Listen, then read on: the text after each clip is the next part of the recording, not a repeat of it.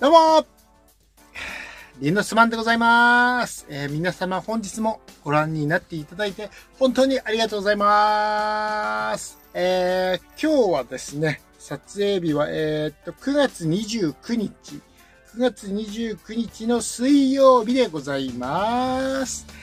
えー今日の動画なんですけれども、スニーカーを買いましたということでやっていきたいなと思います。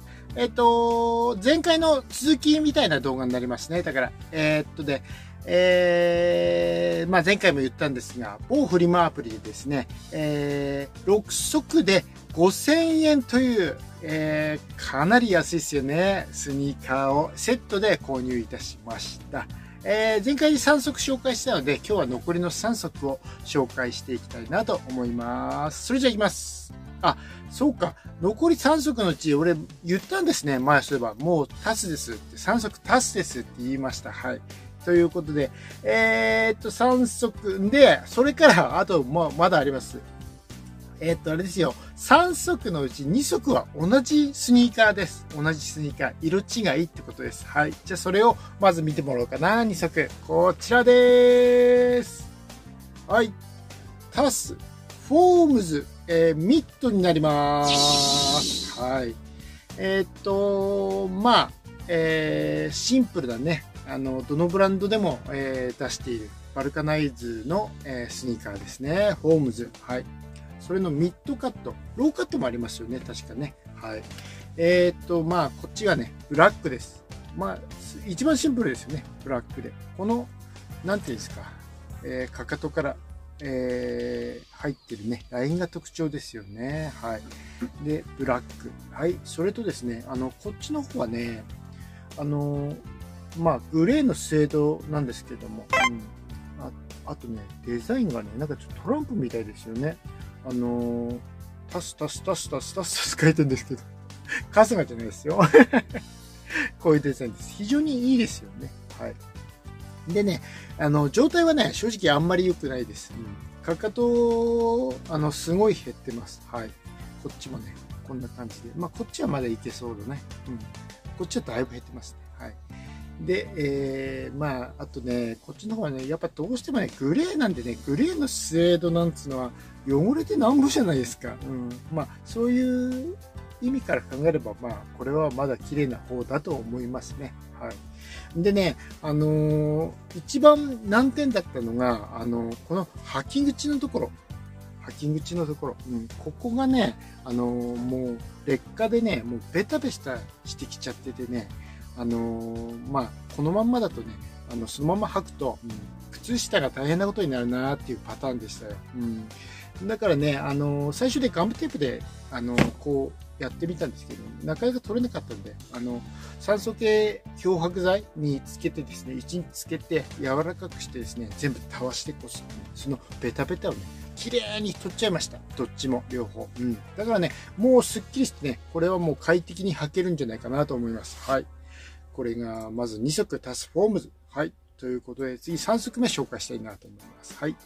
えー、っとね、こちらです。タス、フラミンゴです。はい。こちらになります。でね、ちょっと先に言っちゃいます。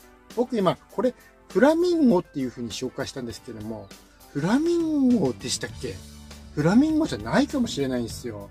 なんかね、あのー後ろにね、パフって書いてるんですよ。だから、パフっていうモデルなのかなとか思ったりして。うん、なんか当時の記憶をね、あのーこう辿るとね、僕はこれフラミンゴだと思ってたんですよ。なんか雑誌でね、あのー読んだりとか、あのー発売情報っていうんですか？うん、それ、確かフラミンゴだったと思うんですけどね。で、こうなんか、クリエイターの人とかが紹介してるのとかも、ちょいちょい見てたんで、僕の中ではフラミンゴっていう、えー記憶なんですけどね。これ皆さん何でしたっけ？もしね、あ、モデル名フラミンゴじゃないよ、わかるよって方はですね、あの、ぜひ教えてください。コメント欄の方に、えー書き込んでいただければなと思います。はい。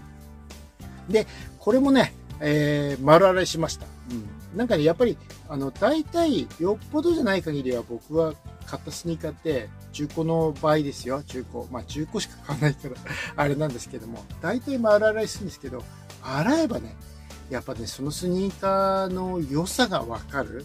うん。まあ、もうちょっと言えば、ダメなやつがわかるっていうんですけどね。うん。これはね、タスはね、本当にいいですよね。うん。洗ってもね、しっかりしてる。ななんかね、そこはね、うまくちょっと表現できないんですけども、うん、例えて言うならですよ。例えて言うなら、えー、野球のグローブありますよね。うん、このタスは、あのー、公式のグローブみたいでした。公式のグローブ。うん、で、えー、マットフット。マットフットはね、残念ながら軟式のグローブです。悪くないんですよ、マットフットも。デザイン性とかね、そういうところがね、マットフットはすごい好きなんでいいんですけども、まあ、作りだったり、素材だったり、それはね、やっぱタスの方がいいなっていうのがね、僕の、えー、感じたところですね。まあ、人それぞれね、あの、感じるところはあると違うと思うんですけれども、はい。僕の、あくまで僕の意見で、はい、そういう感じがしました。うんえー、今日はということで、えー、6足、6足セットで5000円で買ったスニーカーの残りの3足を紹介させていただきました。はい。なんとかね、えー、今月買ったスニーカー、今月で、えー、紹介し終わりました。はい。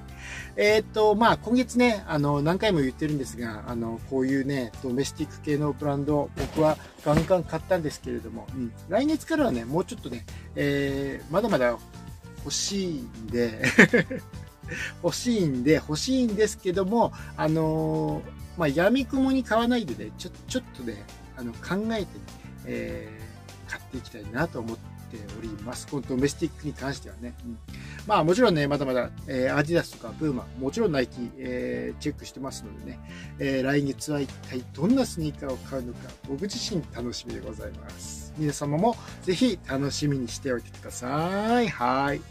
ということで、今日の動画がですね、えー、ちょっとでも面白かったという方は、ぜひグッドボタン、そして、チャンネル登録よろしくお願いいたします。じゃあ最後まで、えー、動画をご視聴いただきましてありがとうございました。バイバーイ